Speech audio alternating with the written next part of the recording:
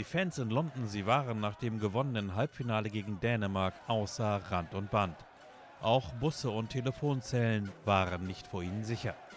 England hat zum ersten Mal in der Geschichte das Finale einer Fußball-Europameisterschaft erreicht. Der erste Titel seit der WM 1966 ist möglich. Diese Fußballfans konnten es kaum fassen.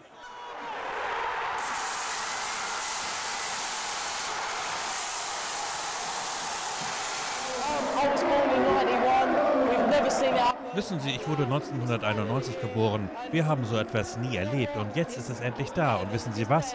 Es ist besser als eine Geburt. Meine Tochter wurde 2012 geboren und weißt du was? Es ist ein besseres Gefühl. Es ist ein besseres Gefühl. Auf geht's, England.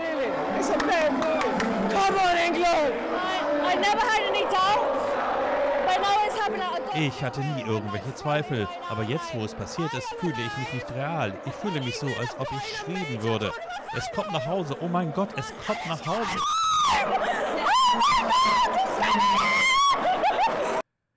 Während des Spiels im Londoner Wembley Stadion war Dänemark durch einen sehenswerten Freistoß von Damsgaard in der 30. Minute in Führung gegangen.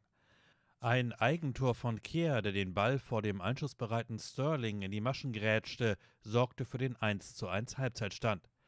In der zweiten Hälfte war England dann zwar das spielbestimmende Team, ein weiteres Tor fiel aber nicht in der regulären Spielzeit. Erst ein umstrittener Elfmeter in der Nachspielzeit brachte die Three Lions auf die Siegerstraße. Harry Kane verwandelte im Nachschuss zum 2:1 für England.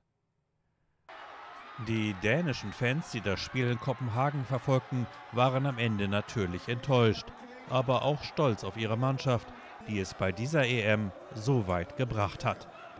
England trifft nun am Sonntag im Finale auf Italien. Gespielt wird erneut im Wembley Stadion.